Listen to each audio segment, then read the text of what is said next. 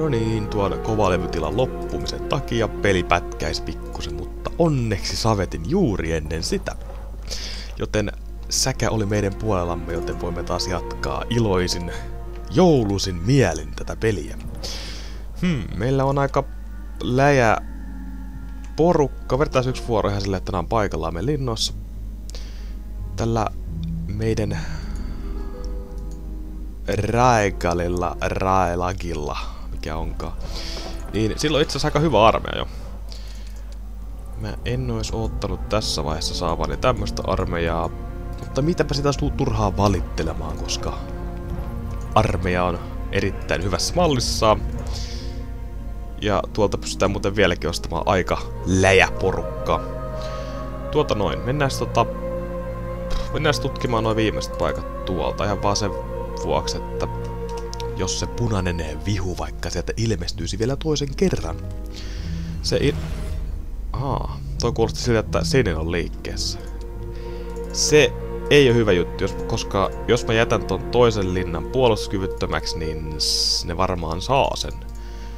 Tosin mä epäilen kovasti, että vihulla olisi lähellekään tällaista armeijaa, mitä mulla on tällä hetkellä, koska kyseessä on sen tää... Eipä syökätä tuolla, vedetään veitti sille. Antaa näitten tappaa. Doi! Veitti sullekin ja sitten tuoda... Vedäpä vaikka tuollainen, noin. Noin. Koska noi paskiasta olisi ampunut takaisin, niin eipä tuu sitten mitään vahinkoja oma armeija. Ois pitänyt itse asiassa tutkia sen verran, että kattonut ton yläpuolelle, että onko ne vihut tullut sieltä läpi. Sekin saattaa olla hyvin mahdollista. Tehdään nämä loput. Tai no, loput ja loput, kaikki mitkä saadaan. Oliko tossa sinisen armeija? Ei, ei, ei, ei ollut. Näin taas omia, sori. Thong ei edes hyökkää, koska meillä on Shadow Dragoneita. Hän olisi purassu nyt persuksiin. Noin. Sieltä saa muuten orekaivokset taas. Hmm. Ei mikään huono juttu. Ylentää Deep Hydrix noin. Öö... Ei ylennetä ihan vielä. Täältä voisi ylentää Grim Enclosurein, niin saadaan Grim Raidereita.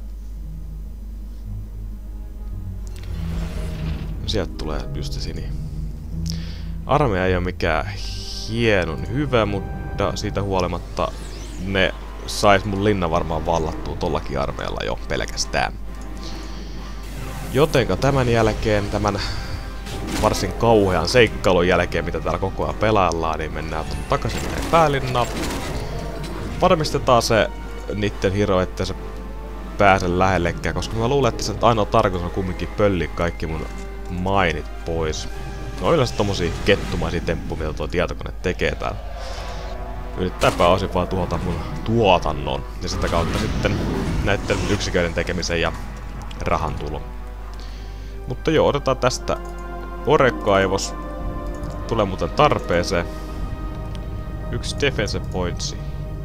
Itse asiassa tässä on niin paljon tutkittavaa vielä täällä. Mä heitän tämän mun kakkoshiroon tuonne. Tälläkään mitään kovin kiitettävää armeijaa kyllä vielä löydy, mutta ei kai se niin paljon haittaa. Hmm. On me sentään ihan ihan hyvä pohja. Sä pääset seuraavan vuodella tonne, että mä en usko, että ne tulee meidän linnaan asti. Ellei tuolta ylhäältä sitten toinen Blue Hero, joka... Tiesin. Mä niin tiesin tän. Ne pöllii sen tärkeimmän kaivoksen aina, kun ne tulee tosta teleporttitulla. Ne pöllii sen hemmetin öö, kultakaivoksen pois. Ärsyttäviä paskiaisia. Öö, Minotaur Guardit, noi, noi, noi. Vieläkään seitsemän että voisin saada ton Deep Hydrat. Ne pitää kyllä saada välttämättä, koska niillä on hemmetin hyvä kestävyys. Ja kestävyyttähän me tässä haetaan meidän armeijalle kumminkin. Ootpas siellä aika kova taikuri tässä vaiheessa peliä. Hm. Ja ai että sulfurkaivos. Tällä me varmistetaan meidän tuotanto tuolle Black Dragoneille. Koska ne tarvii sitä niiden tuotantoa. Oikein me saatiin viimein öö, maini tästä meidän saareltamme, ainakin tältä puolelta. Joka on hyvä juttu siihen nähden, että me tai no, pitää ottaa toi kultakaus vielä takaisin, sitten me hallitaan tätä saarta ihan täysin. Et muuten mene sinne, et mene sinne.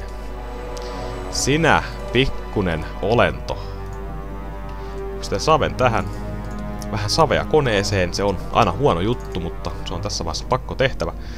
Tää Deep Hydra Place saadaan sieltä rekrytettua niitä. Ja samalla puolustus sitten ylentyy. Täällä on...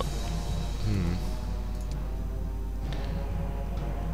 Hyökätäs noihin, kun kerran päästään. Se on näiden Bloodfurin yksi tärkein ominaisuus tässä pelissä, että se pääsee hyökkäämään hemmetin nopealla tahdilla. Liik liikkumisnopeus silloin on hyvä sekin, mutta siis tarkoitan tätä gridiliikkuvuutta tää taistelukentällä. Sekin on todella mahtava. Ai. On niillä kahdeksan noita hemmetin bitsejä tuolla vielä. Mulla on muuten fireball. Hihihihi. Se tekee tuhoansa. Kapu. No hyvä. Idiotti käytti vaan slow tohon. That was a bad move. Kyllä miekin tästä jotain vahinkoa saa. Lähinnä just toltakin, kun se on taikuria. Ne käyttelee noita hyökkäystaikoja siihen malliin, että huh, huh. Vedetään samat aika toho, että se osuu tohon niiden hemmetin ballistaan. Saatiin tuhottua sekin aika nätisti. Noin, ja sitten vielä vitsit pois ja se on siinä. Niillä on artefakteja kanssa. No ei ollut kyllä mitään hyviä artefakteja sen puolen. Ol, olkoon tämä sitten varoitus teille siniselle, että ette muuten jumalauta ole tulossa tänne minun apajilleni, vaikka kuinka haluaisitte. Tuota, tolle Shadiallekin ilmeisesti pitäisi saada muutama dragonisen ryhmä, että me vähän niinku varmistetaan hänenkin turvallisuus tässä mapissa, että ihan päättämään kanaa juosta sitten joka puolelle ja kuolla. Tuota, suuri rahapula. Se vaivaa tässä vaiheessa mun peli ja lähinnä sen takia, kun tämä äskeinen paska, fihu, pölli minun kultaisen kaivokseni tuolta alakerrasta joka me nyt otetaan takaisin ilman mitään toista sanaa. Tota ei saada menettää missään vaiheessa. Kulta on tärkeämpi kuin expa. Ne olisi käynyt vielä täällä. Hmm. Todella jännä tilanne, kun mä en ole ikinä nähnyt tota, tämän keitin vartijaa, kun mä oon pelannut tätä kenttää. Yleensä vihu on aina kerännyt tähän niin nopeasti, että mä en ole kerännyt sitäkään huomaamaan. Jännä juttu, jännä juttu. minä otan kylmän riskin ja yksinkertaisesti... Öö, jaa, no en tiedä, pitäisikö mun sittenkään hyökätä tonne. Ja tiesin yhden linnan sijainnin kumminkin, että se on siellä oikeassa kulmassa, vähän niinku taskussa, suojassa. Joten se olisi helppo kaapata, mutta sitten kun mä lähden sieltä pois, niin se on samalla todella puolustuskyvytön, ellei mä saa sinne jotain hyvää armeija. Jotenka... Mun ei ehkä vielä kannattaisi kumminkaan alkaa seikkailemaan ihan tälleen niinku temporele. Koska sieltä tulee se punasten armeija vielä jossain vaiheessa. Ja se tulee entistä kovempana, totta kai. Ja se tarkoittaa sitä, että minä tarvitsen siihen hyvän puolustuksen kanssa. Ja siihen ei riitä todellakaan mikään Shadian muutama hassu Minotaur-kaarti. Koska silloin niitä arkidevileitä siellä aika paljon. No, ei se... Ei se varmaan ihan niin älytön kumminkaan ole. Tääkin pitäisi periaatteessa upata noin hydrat, deep hydrix, että saatais sitten turva siitäkin. O ois joku örkki, jota vihu voisi tappaa mun armeijassa. Tuolla olisi muuten tuommoinen, otetaan sekin pois. Se me takaisin voitais tälle Shadielle itse asiassa tehdä ihan kohtala armeija. Joo, mä pystyn uppimaan noin Deep Hydrix. Selvä juttu. Keskitytään siihen seuraavalla vuorolla.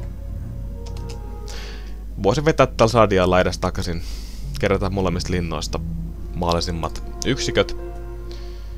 Ja sitä myötä sitten varmistaa oman peissini turvallisuus.